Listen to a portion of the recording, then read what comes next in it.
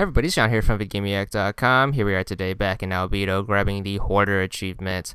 This is a two-part achievement which takes place across two chapters and it is to fill your inventory up with bricks.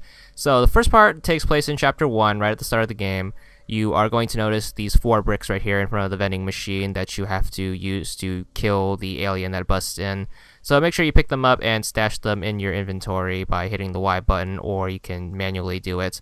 So there's going to be four in level one. Then you have to wait all the way till level four at the start, right after you get off the elevator. You want to look right here in front of this boiler, and there's going to be another two here. Just uh, stash those in your inventory as well, and you should be on your way to a very easy yet missable achievement. There it is. It's going to be 430 gamer score, and that's all there is to it.